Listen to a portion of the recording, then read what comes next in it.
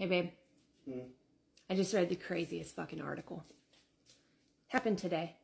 Judge in Illinois ruled that illegal immigrants can own guns because it violates their Second Amendment rights. The Second Amendment rights to the Constitution of the United States of America, to which they are not citizens of. Yeah. Yeah, she dismissed all charges Well, that just goes to show that um, owning a firearm. Once once they go ahead and use their rights, we can go ahead and use ours. Simple. Simple. And this is in Illinois. Of course it's in It's in Illinois. Of course it's in Illinois. What the fuck do you expect? Wait, wait, wait, wait. so they they get they get houses, but we can't afford houses. They get food, but we can't afford food. They get free benefits. They get free health care. We can't we can't afford health care.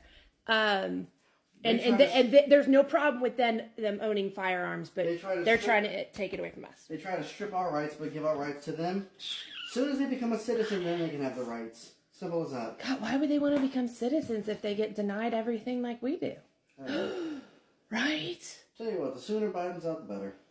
Hmm, Trump 2024. Put, a, put an end to all this shit.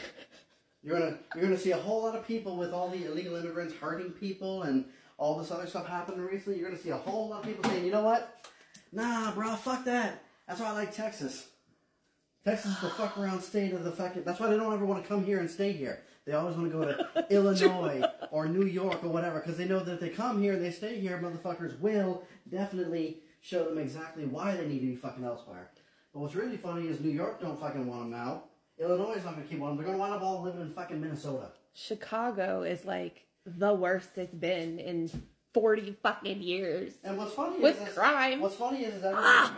what's funny is, is everyone's sitting around saying, "Where did this influx of violence and this and that and this and that?" Like the the Haitian person recently who apparently was here on a student visa or something like that, just raped a fucking kid, and it's like, okay, so what do we do? What do we do?